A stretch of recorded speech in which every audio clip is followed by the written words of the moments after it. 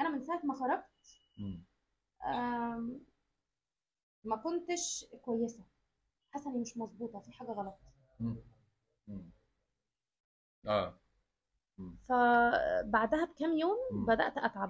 تع- تعبتي بعدين. آه بعدها كنت روحتي يوم البيت بقى خلاص. آه. بدأت أتعب. نكلم الدكتور مش بيرد علينا اللي هو الدكتور المعالج.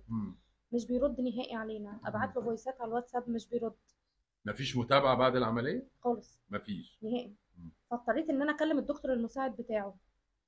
فكلمته فبيقول لي معلش أصل هو في مؤتمر و... وقعد يقول لي قلت له طب أنا تعبانة. أنا مش حاسة بنفسي أنا تعبانة. تعبانة جسديا كلك. ما كانش دراعك بس. كلي وجعني جسمي كله وجعني ومش متقبلة الأكل نهائي. غير إنه آه، أماكن اللي شفط فيها الدهون كان حقن لي في خدي. فخدي وارم. كان رجلي من هنا وجعاني اكتشفت إن هو شفط من هنا برضو من ال- اللي هي الأماكن اللي هو شفط منها هو انت ثواني هو انت مش مش متفقين مع بعض هتعملوا إيه؟ لا هو ما قاليش إن هو هي هياخد من من رجلي من هنا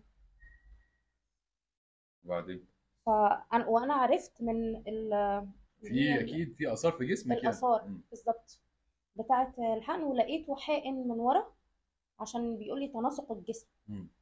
حاقن من ورا ولقيت اللي هو حقنه ده منزل مادة صفراء آه، ريحتها وحشة جدا وما بتطلعش. يعني لو نزلت على حاجة ما بتطلعش. كانوا بياخدوا الملايات يرموها. لو نزلت مني وأنا رايحة sorry ال toilet آه، بالمية السخنة والكلور مش راضية تروح. دي مادة ولا ده دهون في الجسم؟ ده دهون بقى صديد. الله أعلم إيه اللي حصل إيه المادة دي. فأنا إيه؟ يعني اتصلت بد... اتصلوا طبعا آه، اديت أختي نمرة الدكتور اللي هو المساعد بتاعه اتصلت بيه. قالت له شيماء تعبانة جدا والدكتور مش بيرد علينا فأنت اتصرف. بيقول لها هاتوها وتعالوا على عياده الدكتور. قالت له مش عارفين ننزلها تعبانة جدا. فلو سمحت تعالى. قال لها أنا عشان أجي هاخد منكم 1000 جنيه. قالت له خد اللي تاخده المهم تعالى.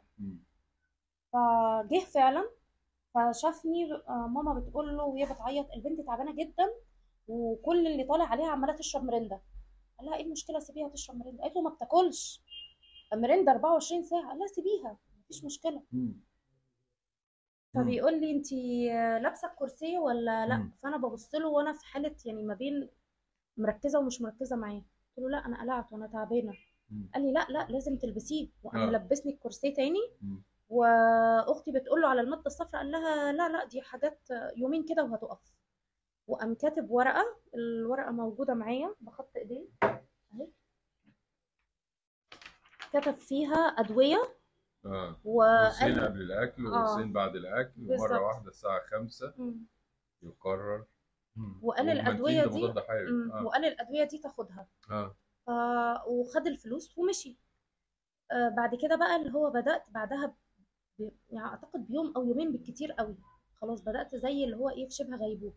خلاص أنا مش حاسة بيهم وخلاص جسمي كله وجعني وحاسة بألم فظيع. مفيش أكل. بعدين إيه اللي حصل؟ فبنتصل بيه بيهم هما الاثنين بقى ما بقوش بيردوا. لا ده بيرد ولا ده بيرد. فوالدتي اتصلت بدكتور العيلة عندنا ودكتور صدر فبتقول له يا دكتور أحمد شيماء تعبانة جدا وحصل كذا كذا كذا. قال لها بصي أنا ما ماليش في الكلام ده بس أنا هحولكم على دكتور آه، تبعنا. يعني تبعي وكده اسمه دكتور طارق عيادته في مصر الجديدة. ده أصلا متخصص في جراحات التجميل. رحتي له؟ رحت له خدوني ورحت له قال لهم آه، الصديد اللي عندها ده عمل آه، اللي هو الدهون اللي اتحقنت من ورا عملت تسمم والصديد ده لازم يتشال فورا ده اللي بينزل منها المادة الصفراء دي صديد آه نتيجة الدهون اللي اتحقنت. ولازم الدهون دي تتشال فورا لازم تتحجز خدوها تبارك عباس العقاد وأنا جاي لكم على هناك رحتي مستشفى تانية واتحجزتي آه هناك؟ تبارك عباس العقاد طبعا كل ده إيه علاقته بدراعك؟ عملوا ده إيه؟ آه لقوا السكر عالي جدا جدا لدرجة إن أنا مش هينفع أدخل عمليات. لما رحت تبارك عباس العقاد وأنت ما كانش عندك سكر؟ ما كانش عندي سكر. ما كانش عندي سكر نهائي. ف كانت إيدي ساعتها بدأت اللي هو إيه بدأت أحس بألم بس جسمي كله بيوجعني. فأنت مش عارفة تميزي. مش عارفة أميز إيه اللي وجع بالظبط قوي. إيه اللي سبب الوجع ده. فقعد دكتور طارق يحاول ينزل السكر ما رضيش ينزل. فقال لهم قال لاخواتي لازم تروحوا مستشفى تحاول تنزل فيها السكر. وداني الجنزوري رحنا الجنزوري آه، خرجت آه، تقريبا الصبح الساعة 8 الصبح من تبارك عباس العقاد رحت الجنزوري كانت تقريبا 10 إلا ربع. دخلت الجنزوري عملوا شوية تحاليل كنت أنا ساعتها وهم في الطريق أختي جابت كباب وكفتة وكده وأنا كنت لما خرجت من المستشفى حسيت إن نفسيتي هديت شوية. آه. وكلت منها صباعين كفتة. فلما رحت الجنزوري لقوا السكر مظبوط بس الصوديوم عالي. فعملوا تحاليل طبعا إيدي الشمال كانت وجعاني جدا ولونها مغمق. فال النيرس لما جت تاخد مني. آه آه تحط فيها أي إبرة أنا رفضت تماما تماما. قلت لها أنا مش مستحملة وجعها حطي في أي مكان تاني في جسمي. فخدت عينة من إيدي اليمين وركبت لي كانولا في رجلي.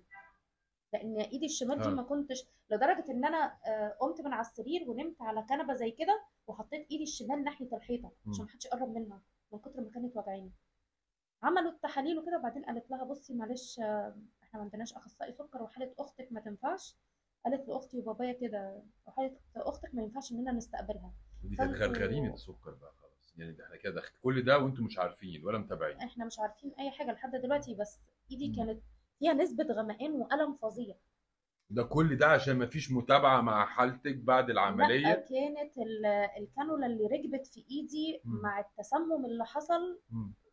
يعني الدنيا باظت فخرجت أختي كلمت دكتور طارق وقالت له شيماء بيقول السكر مظبوط يا دكتور يعني ممكن نرجع تعمل لها العملية قال طب هاتوها وتعالى. رحت تاني تبارك عباس العقاد عملوا لي تحاليل من أول وجديد تاني آه. ما هو ده المفروض قبل أي عملية أي. إجراء لابد من. تحاليل نعرف حالتك الصحية إيه قال ينفع إنها تدخل عمليات حضروها قال للممرضات حضروها وأنا جاية عشان تعمل العملية بتاعت إزالة بقى الدهون بقى آه. اللي هو عملها عملت بقى اللي هو إزالة الدهون دي وكده وعقبال ما فقت كانت الساعة بقت 12 بالليل. فجالي الدكتور طارق يبص عليا بعد ما فقت. فبيغير لي قبل ما يغير لي فبقول له إيدي كنت أنا بقى ساعتها لما فقت بدأت أحس بألم إيدي. بقول له إيدي مش قادرة منها يا دكتور. وبص إيدي كانت صوابع إيدي عملت كده. خلاص مش راضية تتعدل. فأختي بت بتقول لي طب ممكن الدكتور يبص عليها فبيمسكها بيحاول يفرد الصباع زحته من الألم. فبيقول للممرضة لو سمحتي خدي لها عينة سكر من صباعها ده. فبتدخل ال- الإبرة بتاعت السكر مفيش دم مفيش دم طالع فقال لهم بصوا إيديها شكلها ما يطمنش أنا هغير لها من ورا وكان المفروض أغير لها بمخدر بس أنا هغير لها من غير مخدر عشان تلحقوا تاخدوها وتطلعوا على عين شمس التخصصي في هناك أخصائي أوعية كبير جدا هبعتكم ليه وفعلا غير لي طبعا وأنت مش متخيل كم الألم اللي اتألمته لأن كان المفروض يكون الغيار تحت مخدر الغيار من غير مخدر رحت عين شمس. آه، عملوا لي دوبلر. أهو تقرير دي كل ده دي كل دي أوراق المستشفى. دي بالظبط. كل دي أوراق المستشفى. ده دكتور طارق اللي عمل لك العملية. بالظبط. وده ده المحضر وال- اللي أنت عملتيه. آه والأشعة بتاعت مستشفى الأشعة. المعلمين. ودي الأشعة بتاع ودي مستشفى. ثانية وده وده التقرير بتاع مستشفى عين شمس التخصصي بتاع إيه الدوبلر بقى؟ آه هم قالوا لإخواتي بقى. أنا والبابا آه. قالوا دي آه، جلطة حادة في الشريان. مم. عملت انسداد. والانسداد ده عمل غرغرينه آه. فلازم آه، بتر فورا لا إله إلا الله فكلموا أهلي يعني وكده وماما وبابا قالوا لا نعرض الورق على حد تاني. وكلموا دكتور طارق دكتور طارق قال هاتوها وارجعوا تاني. تبارك دخلت تبارك عباس العقاد تاني وبعد كده كان يوم الصبح آه، في دكتور والدتي بتاع الأوعية مم.